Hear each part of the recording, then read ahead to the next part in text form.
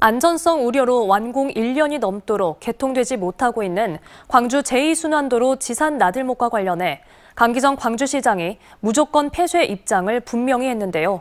실제로 이 도로가 얼마나 위험한지를 실험한 모의 실험 용역 결과가 다음 달 공개됩니다. 예상대로 위험 결론이 나올 경우 무리한 설계 변경으로 인한 책임론으로까지 번질 걸로 보입니다. 주현정 기자가 보도합니다. 총 사업비 77억 원이 투입된 지산나들목 진출로 공사는 완공 1년 3개월이 지난 지금까지 개통되지 못하고 있습니다. 속도를 내는 1차로의 진출로가 위치한 낯선 구조 탓에 안전사고가 속출할 가능성이 크기 때문입니다. 강기정 광주시장이 무조건이라는 단어까지 써가며 폐쇄 의지를 강조하는 이유도 여기에 있습니다. 폐쇄지요.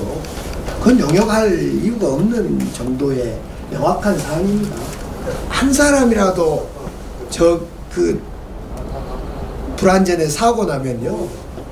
그건 돌이킬 수 없는 겁니다. 지산나들목의 사고 예측 용역을 수행하고 있는 서울시립대 이수범 교수팀은 일대 지형과 구조를 가상현실 3D 맵으로 구축해 운전자들의 주행 안전성을 살펴보는 모의 실험을 최근 마쳤습니다.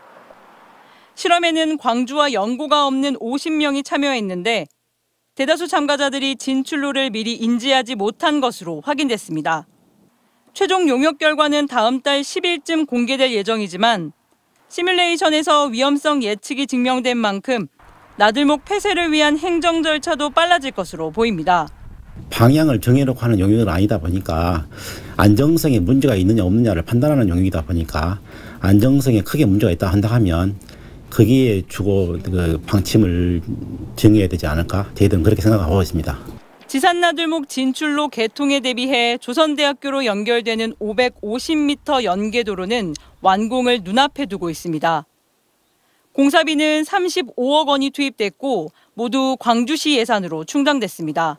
이 도로 또한 일반 시민들이 이용할 가능성은 낮아지면서 혈세 낭비라는 논란이 불거질 가능성은 커졌습니다. 광주시 감사위원회는 지산나들목 위험도 평가 결과가 나오는 대로 최초의 안전성 검토가 제대로 이루어졌는지에 대한 내부 조사 착수까지 예고하고 있습니다. 무리한 설계 변경 탓에 하세월만 보내고 있는 지산나들목 개통. 용역 결과에 따라 예산 낭비와 의사결정 책임론일 것으로 보입니다. MBC 뉴스 주현정입니다.